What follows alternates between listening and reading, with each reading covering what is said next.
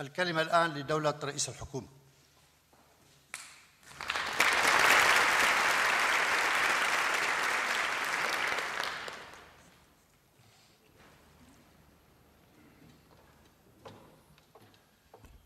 شكرا دولة الرئيس.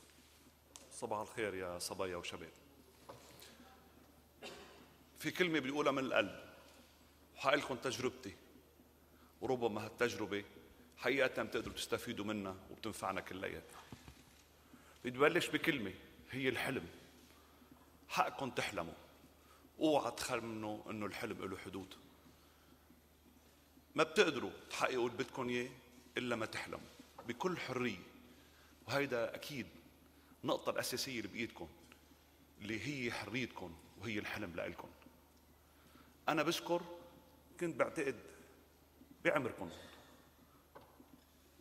أجي على مجلس النواب وابقى دايما اطلب من سعادة النواب إني أدخل معهم لحتى أقعد بالنظارة وهون إني أشوف النواب شو عم بصير وبذكر في ليلة من الليالي بقي مجلس نواب للساعة 3 الصبح.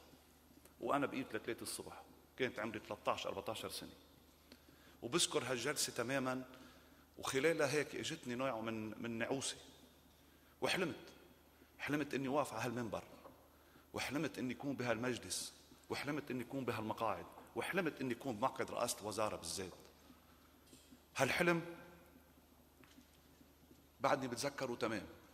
بتذكر الحادثة تماما كان الله يرحمه الرئيس رشيد كرامي رئيس وزارة وكان في مشاكل بلد سنة 69 وبتذكر الجلسة تمام كيف صارت وقتها الساعة 3 الصبح استقال. شعرت إنه هون حريتي إني أحلم. ولكن لما تحلموا وهيدي حريتكم تحلموا إنه تكونوا طموحين ومؤثرين وتوصلوا على أعلى المراكز الحلم له مقومات ليتحقق. أول مقوماته حسب ما بعتقد هي القيم اولا القيم. القيم كونوا مع الالتزام. الصادق والعميق بالقيم الدينية والإنسانية. نحن بلا قيم ما في شيء ما بنوصل لشيء عم بقولها بالذات الدينية والإنسانية لأني أول شيء بلش بالدينية من باب إيماني رأس الحكمة مخافة الله. دايما بدكم تشوفوا في مين عم بيراقب لو ما كنتوا حاسين وتعرفوا إذا عم تعملوا شيء غلط هو غلط وما لازم تعملوا غلط. تاني شيء كمان من باب الأمور الدينية اللي أنا مآمن فيها هي رضا الوالدين بعد رضا الله. أوعكم تعتقدوا لحظة انه إنه ممكن تتجاوزوا ولا بشكل من الأشكال إرادة الوالدين. هن الحريصين عليكم. معلش يحاورون ولكن كنت تعرفوا دائما إنه حرصهم عليكم بعد فترة أنتم حتصيروا والدين وبتعرفوا قيمة هالموضوع وبتعرفوا قيمة الوالد والوالدة. هيدا بدكم تحطوه نصب عينكم الحرية جزء من القيم. كمان بدكم تعرفوا إنه الحرية منا حرية مطلقة. الحرية وقت تتحول من حلم إلى حقيقة بدكم تعرفوا إنه حريتكم تنتهي لما تبدأ حرية غيركم. مش مسموح تكون الحرية مفتوحة إلى إلى إلى إلى إلى لا حدود. مش مسموح إنكم تشعروا إنه أنتم كأنه خلص صارت الحرية والحرية كلمة مفتوحة. أنتم بدكم توضعوا ضوابط للحرية. أنتم بدكم تحطوها بينكم وبين نفسكم. لحتى اولا تحترموا نفسكم. وهيدي كثير مهمة. وهيدي كثير أساسية. لما نكون حلمنا وتمسكنا بالقيم في عنا أمر آخر بدنا نأكد عليه هو التعليم. دولة الرئيس بكلمته قال هي الصناعة. نعم.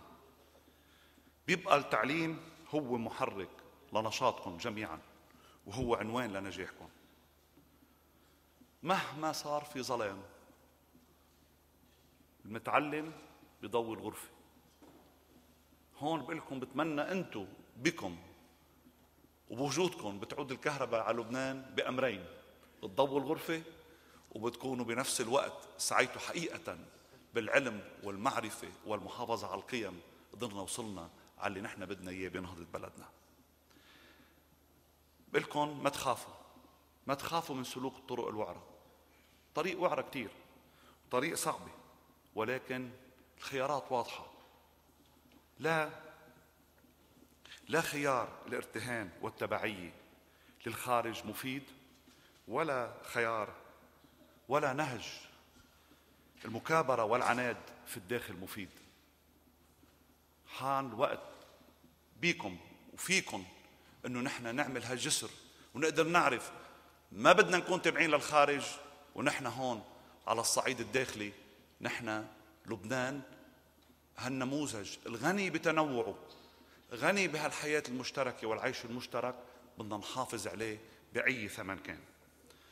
من هون لحتى أنهي كلمتي بقول لكم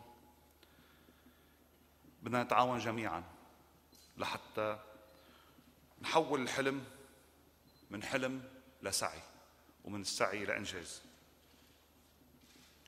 خذوا العبرة من أخطائنا ولا تستسلموا أبدا لكلمة هذا قدر لبنان. لا مش مزبوط هذا قدر لبنان. تذكروا دائما أنكم أنتم قدوة لبنان.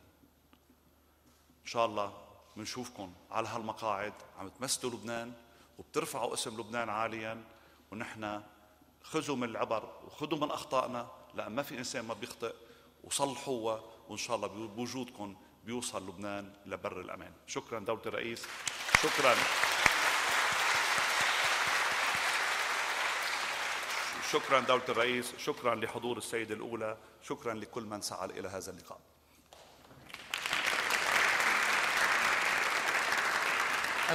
الكلمة للسيدة الأولى السيدة وفاء سليمان.